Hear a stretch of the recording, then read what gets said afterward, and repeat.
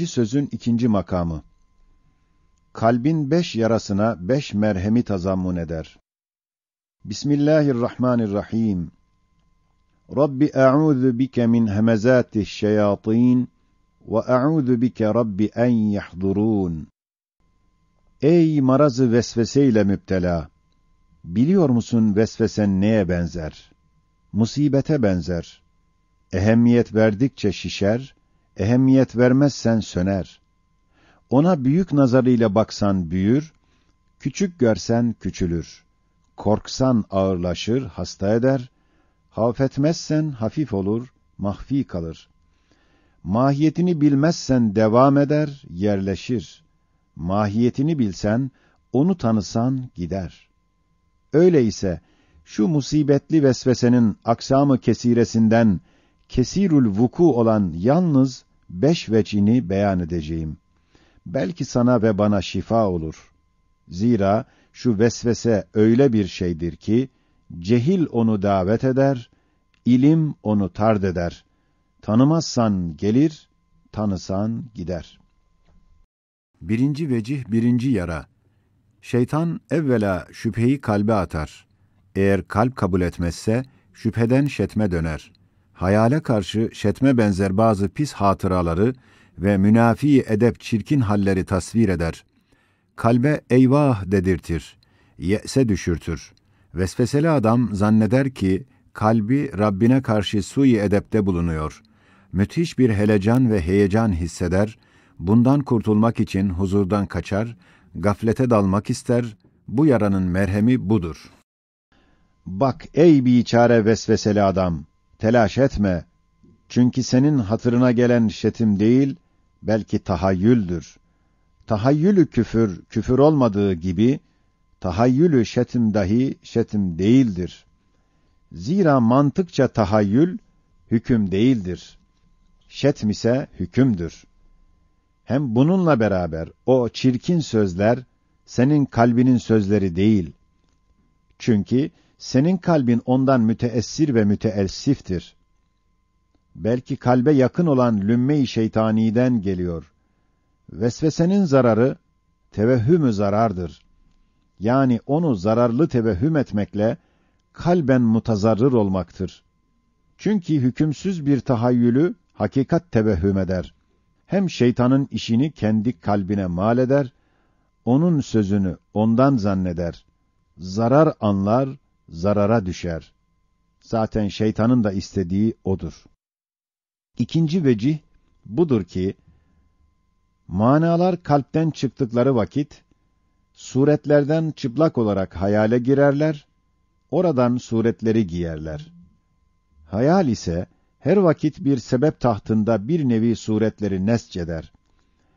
Ehemmiyet verdiği şeyin suretlerini yol üstünde bırakır. Hangi mana geçse, ya ona giydirir, ya takar, ya bulaştırır, ya perde eder. Eğer manalar münezzeh ve temiz iseler, suretler mülevves ve rezil ise giymek yoktur. Fakat temas var. Vesveseli adam, teması telebbüsle iltibas eder. Eyvah der, kalbim ne kadar bozulmuş, bu sefillik, bu hisseti nefs, beni matrud eder, Şeytan onun şu damarından çok istifade eder, şu yaranın merhemi şudur. Dinle ey biçare, nasıl ki senin namazın, edebi nezihanesinin vesilesi olan zahiri taharete, batnının batınındaki necaset ona tesir etmez ve bozmaz. Öyle de, maani mukaddesenin sureti mülevveseye mücavereti zarar etmez.'' Mesela sen ayat-ı ilahiyeyi tefekkür ediyorsun, birden bir maraz ya bir iştiha ya bevl gibi bir emri müheyyiç şiddetle senin hissine dokunuyor. Elbette senin hayalin devai illet ve kazay hacetin levazımatını görecek, bakacak, onlara münasip süfli suretleri nescedecek ve gelen manalar ortalarından geçecekler geçeceklere ne beis vardır, ne televvüs var ve ne zarar var ve ne hatar var. Yalnız hatar ise hasrı nazardır, zannı zarardır. Üçüncü vecih budur ki, eşya mabeyinlerinde bazı münasebat-ı hafiye bulunur. Hatta hiç ümit etmediğin şeyler içinde münasebet ipleri bulunur. Ya bizzat bulunur veya senin hayalin meşgul olduğu sanata göre o ipleri yapmış, onları birbiriyle bağlamış. Şu sırrı münasebettendir ki bazen bir mukaddes şeyi görmek bir mülevves şeyi hatıra getirir. Fenni beyanda beyan olunduğu gibi hariçte uzaklık sebebi olan zıddiyet ise hayalde sebebi kurbiyettir. Yani iki zıttın suretlerinin cem'ine vasıta bir münasebeti hayaliyedir. Bu münasebetle gelen tahattura tedai efkar tabir edilir. Mesela sen namazda, münacatta, Kabe karşısında, huzuru ilahide iken ayatı tefekkürde olduğun bir halde şu tedai efkar seni tutup en uzak malayaniyat-ı rezileye sevk eder. Senin başın böyle bir tedai efkara müptela ise sakın telaş etme. Belki intibaha geldiğin anda dön. Aman ne kusur ettim deyip tetkikle meşgul olup durma. Ta o zayıf münasebet senin dikkatinle kuvvet peyda etmesin. Zira teessür gösterdikçe, ehemmiyet verdikçe senin o zayıf tahatturun melekeye döner. Bir marazı hayali olur. Korkma, marazı kalbi değil. Şu nevi tahattur ise galiben ihtiyarsızdır. Hususan hassas asabilerde daha galiptir. Şeytan şu nevi vesvesenin madenini çok işlettirir. Şu yaranın merhemi şudur ki Tedai efkar galiben ihtiyarsızdır. Onda mesuliyet yoktur. Hem tedaide mücaveret var, temas ve ihtilat yoktur. Onun için efkarın keyfiyetleri birbirine sirayet etmez, birbirine zarar vermez. Nasıl ki şeytan ile meleki ilham kalp taraflarında mücaveretleri var ve füccar ve ebrarın karabetleri ve bir meskende durmaları zarar vermez, öyle de tedai efkar saikası ile istemediğin pis hayalat, gelip nezih efkarın içine girse zarar vermez. Meğer kasten olsa veya zarar zannı ile onunla ziyade meşgul olsa, hem bazen kalp yoruluyor, fikir kendini eğlendirmek için rastgele bir şeyle meşgul olur, şeytan fırsat bulur, pis şeyleri önüne serpiyor, sürüyor. Dördüncü vecih, amelin en iyi suretini taharriden neş'et eden bir vesvesedir ki, takva zannıyla teşeddüd ettikçe, hal ona şiddetlenir. Hatta bir dereceye varır ki, o adam amelin daha evlasını ararken, harama düşer. Bazen bir sünnetin araması, bir vacibi terk ettiriyor. Acaba amelim sahih oldu mu der, iade eder. Bu hal devam eder, gayet ye'se düşer. Şeytan şu halinden istifade eder, onu yaralar. Şu yaranın iki merhemi var. Birinci merhem.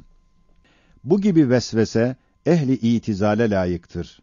Çünkü onlar derler, medarı teklif olan ef'al ve eşya, kendi zatında, ahiret itibariyle ya hüsnü var, sonra o hüsne binaen emredilmiş veya kubhu var, sonra ona binaen nehyedilmiş.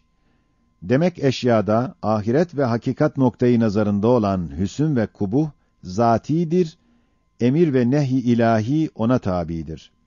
Bu mezhebe göre insan her işlediği amelde şöyle bir vesvese gelir. Acaba amelim nefsül emirdeki güzel surette yapılmış mıdır? Ama mezhebi hak olan ehli sünnet ve cemaat derler ki Cenab-ı Hak bir şeye emreder sonra hasen olur. Nehyeder sonra kabih olur. Demek emir ile güzellik, nehi ile çirkinlik tahakkuk eder. Hüsün ve kubuh, mükellefin ıttılağına bakar ve ona göre takarrur eder. Şu hüsün ve kubuh ise, suri ve dünyaya bakan yüzünde değil, belki ahirete bakan yüzdedir. Mesela, sen namaz kıldın veya abdest aldın. Halbuki namazını ve abdestini fesada verecek bir sebep, nefsül emirde varmış. Lakin sen ona hiç muttali olmadın. Senin namazın ve abdestin hem sahihtir hem hasendir. Mutezile der, hakikatte kabih ve fasittir lakin senden kabul edilir. Çünkü cehlin var, bilmedin ve özrün var.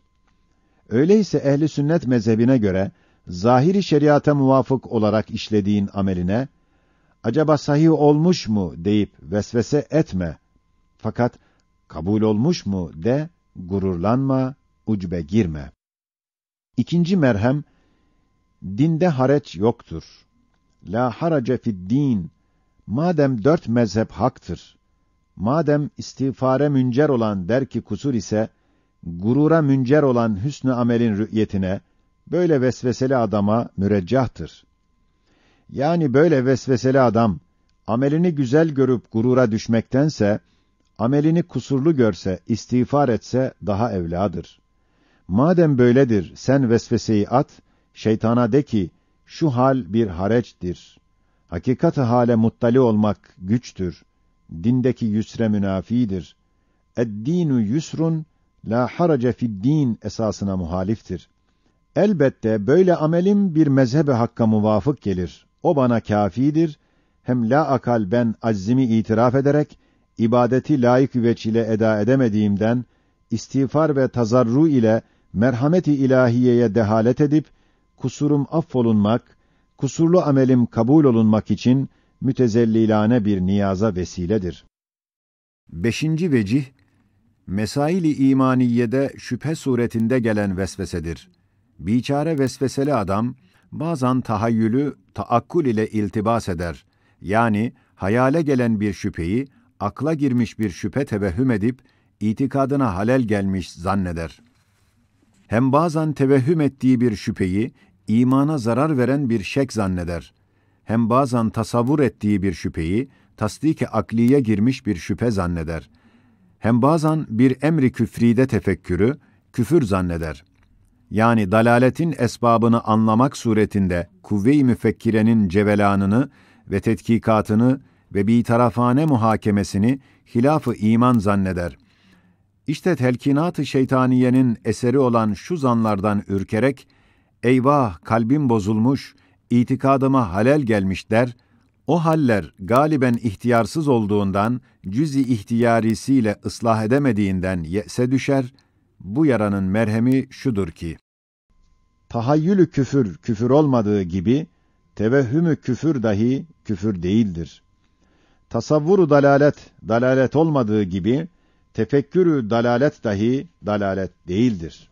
Çünkü hem tahayyül, hem tevehhüm, hem tasavvur, hem tefekkür, tasdik-i akliden ve izanı kalbiden ayrıdırlar, başkadırlar. Onlar bir derece serbesttirler. Cüz-i ihtiyariyeyi pek dinlemiyorlar. Teklifi dini altına çok giremiyorlar.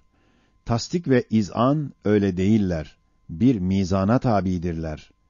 Hem tahayyül, tevehhüm, tasavvur, tefekkür, nasıl ki tasdik ve izan değiller, öyle de şüphe ve tereddüt sayılmazlar. Fakat eğer lüzumsuz tekrar ede ede müstakar bir hale gelse, o vakit hakiki bir nevi şüphe ondan tevellüt edebilir.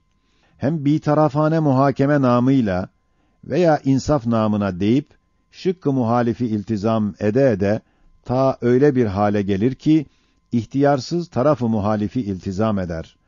Ona vacip olan hakkın iltizamı kırılır, o da tehlikeye düşer. Hasmın veya şeytanın bir vekili fuzulisi olacak bir halet, zihninde takarrür eder. Şu nevi vesvesenin en mühimi budur ki, vesveseli adam, imkanı zati ile imkanı zihniyi birbiriyle iltibas eder. Yani, bir şeyi zatında mümkün görse, o şeyi zihnen dahi mümkün ve aklen meşkûk tevehhüm eder. Halbuki ilmi kelamın kaidelerindendir ki, imkanı zati ise, yakini ilmiye münafi değil ve zarureti zihniyeye ziddiyeti yoktur. Mesela, şu dakikada Karadeniz'in yere batması zatında mümkündür ve o imkanı zati ile muhtemeldir. Halbuki yakinen o denizin yerinde olduğunu hükmediyoruz, şüphesiz biliyoruz ve o ihtimali imkani ve o imkanı zati bize şek vermez, bir şüphe getirmez, yakinimizi bozmaz. Mesela Şu güneş zatında mümkündür ki bugün grup etmesin veya yarın tulu etmesin. Halbuki bu imkan yakinimize zarar vermez, şüphe getirmez. İşte bunun gibi mesela hakayki imaniyeden olan hayat-ı dünyeviyenin grubuna ve hayat-ı uhreviyenin tuluğuna imkanı zati cihetinde gelen vehimler yakini imaniye zarar vermez.